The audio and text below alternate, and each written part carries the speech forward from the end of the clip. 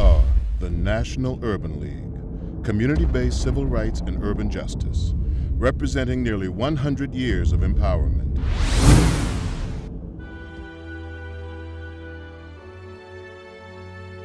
When the promise of opportunity lured blacks north and urban living became a daunting reality, the National Urban League fought for equal access in a racist society.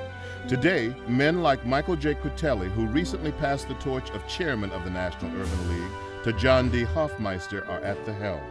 Thanks to them, so much is possible. Seven men have held the office of president since our beginnings in 1910. I stand on the shoulders of American legends. President for the past five years, Mark H. Morial, our current visionary, tireless, leading the charge through the contemporary battlefield in urban America. For the Urban League, it's because it's politically hot to touch that we're dealing with. Long-term solutions, I think, are the issue in this upcoming presidential race. Mark Morial is fine-tuning the Urban League's agenda, and people are listening, meeting with leaders, media, and policymakers, reinforcing local Urban League programs that remedy the often dire statistics in the Urban League's State of Black America report and other vital research initiatives. It's really important to me because the Urban League is taking a whole bunch of people who are in a neighborhood where the statistics say that they're going to die before they even finish high school. Empowering young men like 13-year-old Eric Emery, taking him to Achievement Matters summer camps, where he studies finance, business management, and agriculture. This really inspires me to do something bigger and better. If it wasn't for the Greater Washington Urban League, I, Kimberly Ishmael, would be locked up right now. Empowering young women like 22-year-old Kimberly from a family of nine children.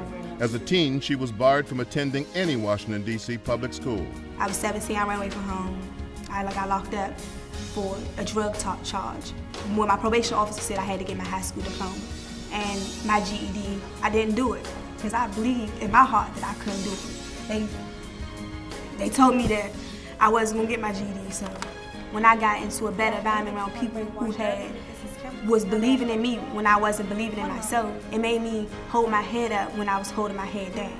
I graduated June 25th, 2008 from the Greater Washington Urban League GED School, and I feel great.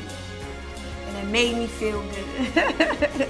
Empowering people to own their homes. The Urban League definitely made a dream come true for me and my family. We've wanted something for quite some time. I've wanted something since I was a kid. Single mom Zerlene Hughes avoided the subprime lending mess, got a $70,000 down payment and closing costs on her new home through the League's comprehensive housing program. Because of the Urban League, I have a home and I have that dream. Empowering people with health and quality of life. I was under a lot of stress because we were paid at least uh, 400 to 450 a month for prescriptions. 59-year-old Eloise Hinton lives and cares for her 85-year-old mom, Ruth.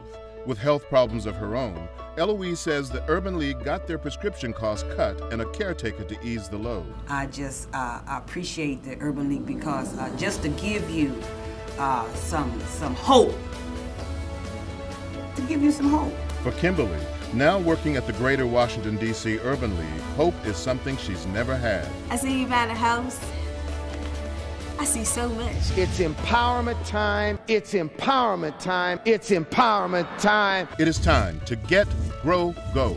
Get what you want, grow your resources, and go wherever you want. Time for inner city kids to make the impossible possible. Say reading is empowerment. June 1st, 2004, Gary, Indiana.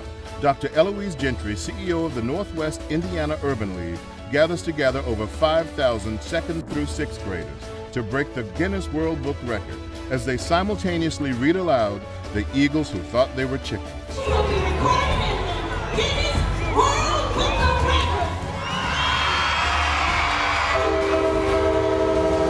We are a nonpartisan organization redefining civil rights in America and around the world, locally producing radio shows. I'm your host, Roland Turner, and this morning we've got a very exciting show. Circulating information via print and the internet to encourage, educate, and set current policy issues.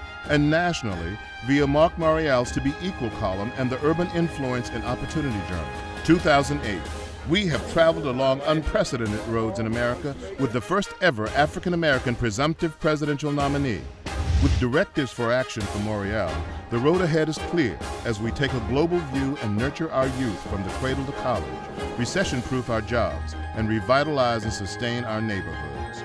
As we offer children the opportunity to thrive, give people the chance to earn jobs, to own homes, and to prosper regardless of obstacles.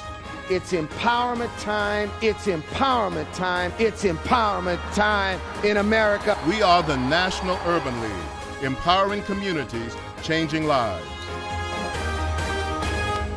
For more information about the Urban League, please contact your local affiliate or visit us on the web at www.nul.org.